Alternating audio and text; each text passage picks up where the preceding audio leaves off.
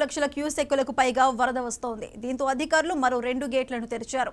మొత్తం ఏడు గేట్ల ద్వారా నీటిని నాగార్జున సాగర్ డ్యాంకు వదులుతున్నారు. క్రస్ట్ గేట్లు పవన్ జనరేషన్ ఎత్తిపోతలు కలిపి అవుట్ఫ్లో రెండు పాయింట్ ఐదు సున్నా లక్షల క్యూసెక్కులుగా ఉంది. శ్రీశైలం పూర్తి స్థాయి నీటి మట్టం ఎనిమిది వందల ఎనభై ఐదు అడుగులు కాగా ప్రస్తుతం ఎనిమిది వందల ఎనభై మూడు పాయింట్ ఐదు సున్నా అడుగులుగా ఉంది. రెండు వందల పదిహేను టీఎంసీలకు గాను రెండు వే- రెండు వందల ఏడు టీఎంసీల నీరు నిల్వ ఉంది. Anak.